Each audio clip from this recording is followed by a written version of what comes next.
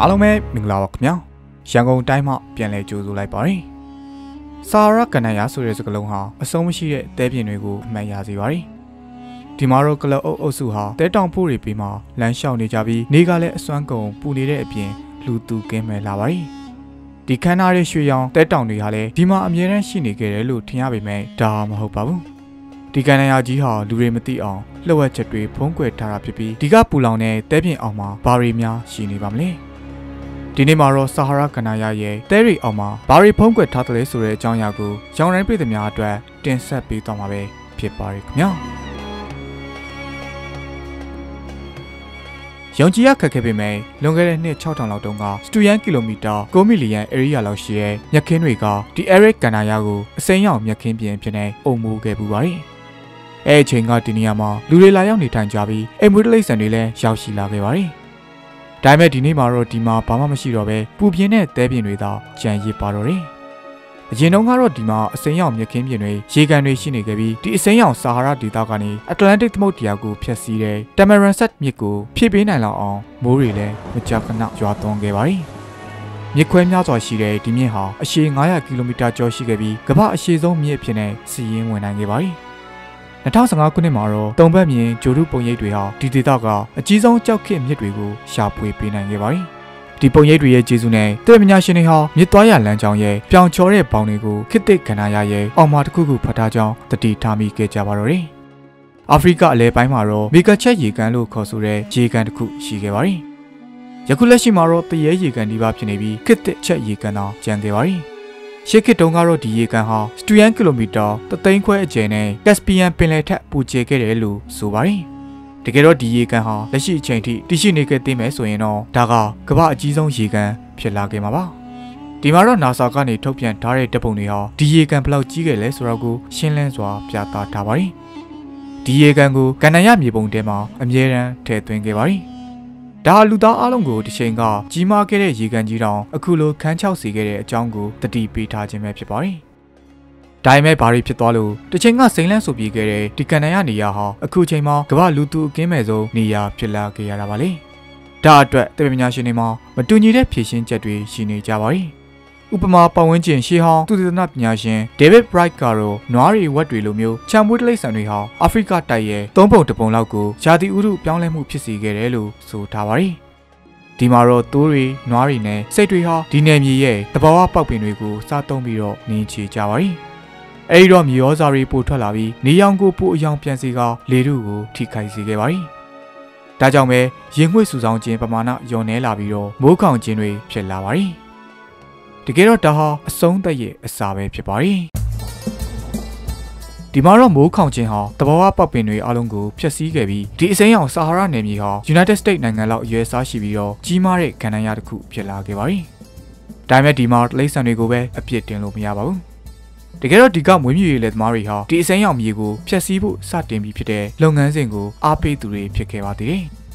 2018ခုနှစ်မှာတပည့်ပညာရှင်နောက်တစ်ဖွဲ့ကတော့ရှေခိတ်လိမ့်ဆန်တွေကြောင်းတဲ့သူတွေဟာအစိမ်းရောင်ဆာဟာရာရဲ့ပန်းပွင့်ခြင်းကိုနှစ်ပေါင်း900ပိုကြာအောင်ထိမ့်သိမ်းပေးခဲ့တဲ့ဆိုတဲ့အဆိုချမ်းကိုတင်သွင်းခဲ့ပါတယ်။ဒီလေးလာမှုမှာပါဝင်ခဲ့တဲ့သူတို့ရဲ့ပြောစကားအရအခုလိုဂျာတိအလျောက်လိမ့်ဆန်ကြောင်းခြင်းနဲ့စကြက်တွေဟာလူတွေအတွက်ရော့ကျလာတဲ့ ecosystem ကိုထိမ့်သိမ်းပေးဖို့ကူညီပေးခဲ့တယ်လို့ဆိုထားပါတယ်။တတိယတပည့်ပညာရှင်အုပ်စုကတော့ဒါအတွက်ကမ္ဘာဝင်ရိုးကိုသာအပြစ်တင်နေခဲ့ပါတယ်။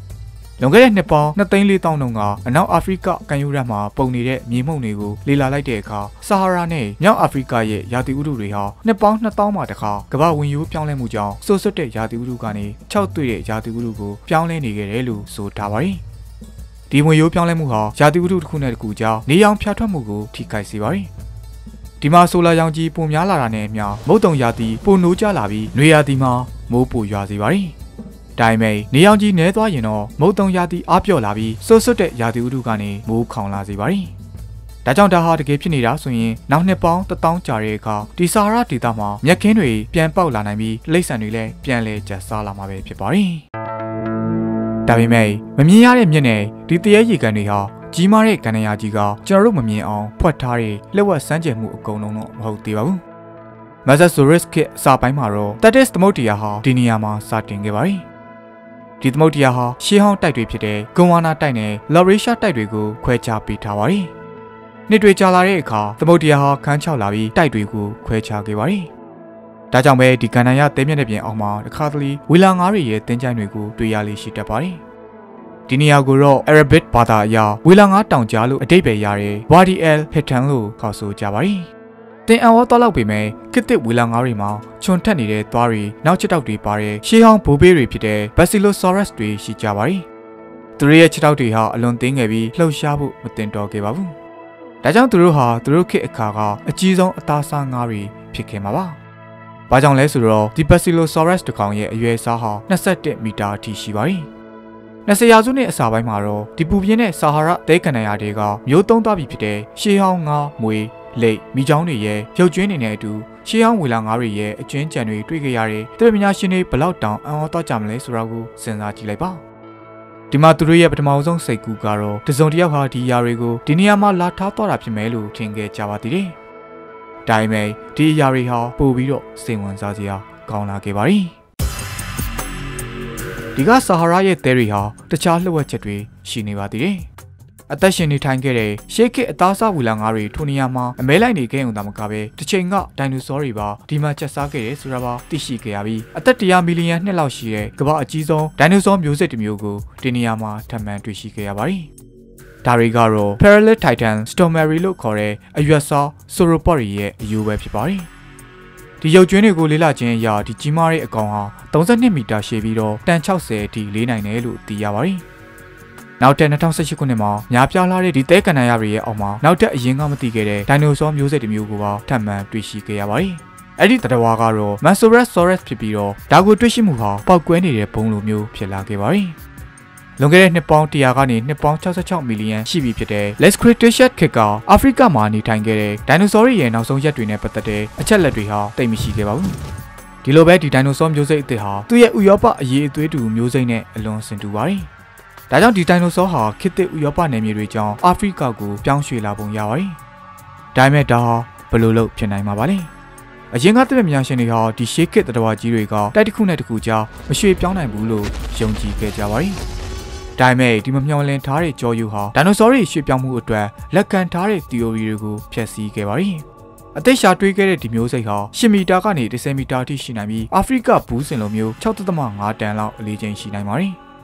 ဒီနေ့ချိန်ထိဒီတွေ့ရှိမှုဟာတွေ့ရှိခဲ့တဲ့ရုပ်ချင်းတွေအလုံးတဲအရာအရောက်ဆုံးတွေ့ရှိမှုဖြစ်ခဲ့ပါတယ်။ Masorasaurus တွေရဲ့တွေ့ရှိမှုအသစ်တွေဟာထိုအချိန်ကဒေတာရင်းတိရစ္ဆာန်တွေအကြောင်းကိုပုံမသိရှိလာစေပါတယ်။ဒါပေမဲ့ဆာဟာရာအာဖရိကရဲ့မရှင်းပြနိုင်တဲ့ကမ္ဘာအကြီးဆုံးလှုပ်ဝက်စမ်းကြံမှုတစ်ခုကတော့မော်ရီတန်နီးယားမှာတည်ရှိလိုနေပါတယ်။ဒါကိုတော့အကာဒကနေအလွယ်တကူမြင်တွေ့နိုင်ပြီးဒါထူးခြားတဲ့ပထဝီဝင်တိစောက်ပုံလည်းပဲဖြစ်ပါတယ်။ ဒါကိုတော့ဆာဟာရာရဲ့မျက်လုံးသို့မဟုတ် Richard Structure လို့ခေါ်ဆိုကြပါတယ်။ဒါအလွန်ကြီးမားပြီးဘိုတူစဝိုင်းစုဝေးဖြစ်ပြီးတော့သူ့ရဲ့အချင်းကတော့90ကီလိုမီတာလောက်ရှိပါတယ်။ဒီအရာကိုတော့အကသယင် Gemini 4က1965ခုနှစ်မှာရှာဖွေတွေ့ရှိခဲ့ပြီးတဲ့နောက်ကဘာကျော်သွားခဲ့ပါတယ်။အဲဒီချိန်ကနေစပြီးလှုပ်ဝက်ဆန်းကျဲတဲ့ဒီမျက်လုံးဟာတပည့်ပညာရှင်တွေကိုခြောက်လှန့်နေခဲ့ပါတယ်။နှစ်ပေါင်းများစွာကြာအောင်သူတို့ဟာအတိကမေကွန်းကိုအပြေရှာနေခဲ့ကြပါတယ်။ အဲ့ဒါကတော့ဒီပုံစံရဲ့တဘာဝကဘာလဲဆိုတာပဲဖြစ်ပါတယ်ဒါရှိဟောင်းအုတ်ကပြန်ကြခဲ့တဲ့နေရာဖြစ်မယ်ဆိုရင်အုတ်ကပြန်ကြခဲ့တဲ့ဂျိုင်ဝမ်နဲ့ဝင်တိုက်တဲ့ခြေရလက်ရာဒီမှာဘာကြောင့်မကြံခဲ့ရတာပါလဲဒါနှစ်ပေါင်းများစွာကြာအောင်အတွင်းဘက်ကိုမြုပ်ဝင်လာတဲ့ဘီးတောင်တေးတစ်ခုရဲ့အဝဖြစ်ခဲ့မယ်ဆိုရင်ဘီးတောင်ချော်ရည်ကြောက်ခဲတွေဘာလို့ဒီမှာလုံးဝမရှိရတာပါလဲအလွန်အံ့ဩဖွယ်ကောင်းတဲ့ theory တွေမှာတော့ဒီနေရာကိုဂျိုသားတွေဆင်းသက်တဲ့နေရာလို့ပြောလို့ရှိကြပါတယ်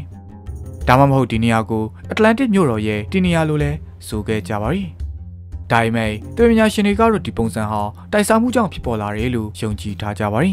။ဒါပေမဲ့ဒီအဆိုမှလည်းချုံရင်းချက်တွေရှိလို့နေပါရီ။အဲ့ဒါကတော့ဒီမှာကွင်းတွေဟာအလွန်ညီညာနေပါရီ။တကယ်တော့ကဘာပေါ်ကဘယ်နေရာမှာမှဒီလိုပုံစံမျိုးဖြစ်စီခဲ့တဲ့တိုက်စားမှုဟာမရှိခဲ့ပါဘူး။စာရဒေတာရဲ့လောကစမ်းကြဲဒီမျက်လုံးဟာအန်ဩစီအကောင်းဆုံးတဘာဝအဖြစ်ရဖြစ်နေရှိနေစေပါ။ ဒီကဏ္ဍရဟာဒီမျက်လုံးကိုအသုံးပြုပြီးဘသူတွေပါတွေကိုစောင့်ကြည့်နေလဲဆိုတာလဲလှုပ်ဝက်ချက်အနေနဲ့ရှိနေစေဖြစ်မှာပါဒီကဏ္ဍရဟာသူ့ရဲ့သဲရီအောင်မှာမြုပ်ထားတဲ့မြို့တွေနဲ့လူနေမှုဘဝတွေကိုယနေ့အချိန်ထိဖုံးကွယ်ထားဆဲပဲဖြစ်ပါတယ်ဒီຢာတွေရဲ့အရေးရောင်တွေကိုတော့ဂျိုရုတွေကနေဖမ်းမိပြီးတခါတရံရှေးဟောင်းသူသနာပညာရှင်တွေကဒီနေရာကိုလာရောက်ရှာဖွေတွေ့ရှိလေရှိကြပါတယ်။ တစ်ချိန်လုံးကဒီနေရာမှာနေထိုင်မှုပုံစံတွေဟာထင်ရှားခဲ့ပြီးတော့ဒီကလေကွင်းတွေဟာရိတ်သိမ်းခံရဖို့စောင့်နေခဲ့ပြီးချံမိုးတိရစ္ဆာန်တွေဟာလည်းစကြက်တွေမှာကြက်စားနေခဲ့ကြပူပါတယ်ဒီနေရာမှာပဲတောရင်တိရစ္ဆာန်တွေဟာတားကောင်ကိုရှာဖွေခဲ့ကြပြီးမြစ်တွေထဲမှာငါးတွေနဲ့ပြည့်နှံနေခဲ့ပူပါတယ်ဒါပေမဲ့နှစ်တွေကြာလာတဲ့အခါဒီနေရာကအရာအလုံးဟာပြောင်းလဲသွားခဲ့ပါတော့တယ် အခုတော့ဒီကဏ္ဍရဟာလုံးဝနေထိုင်မှုမသင့်တော်တဲ့နေရာဖြစ်လာခဲ့ပြီးဒီစာရဒေသကိုလေ့လာဖို့ကြိုးစားခဲ့တဲ့သူတိုင်းဟာဒီကိုရောက်တိုင်းချစ်ချစ်တောက်ပူနေတဲ့နေရောင်တွေတဲမှုန်တိုင်းတွေနဲ့ကြုံတွေ့ရပါတယ်။ဒါကြောင့်ဒီလိုလေးလာဖို့ခက်ခဲတာကြောင့်ဒီကြီးမားတဲ့တဲတောင်တွေအောက်မှာစာရာဒေသကနောက်ထပ်လူတွေမမြင်အောင်ဖုံးကွယ်ထားတဲ့အကြီးမားဆုံးလှုပ်ဝက်ချက်တွေလည်းရှိနေနိုင်ပါသေးတယ်ခင်ဗျာ။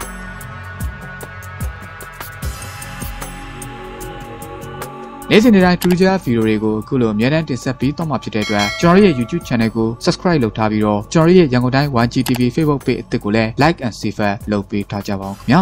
ကျွန်တော်ဒီနေ့တင်ဆက်ပေးခဲ့တဲ့စာရာကနာရရဲ့တဲရီအောင်မှာဘာရီဖုံးကွယ်ထားတယ်လဲဆိုတဲ့အကြောင်းအရာကိုကျွန်တော်တိုင်းပြည်သူများအားလုံးပဲနှစ်သက်ကြမယ်လို့ထင်ပါတယ်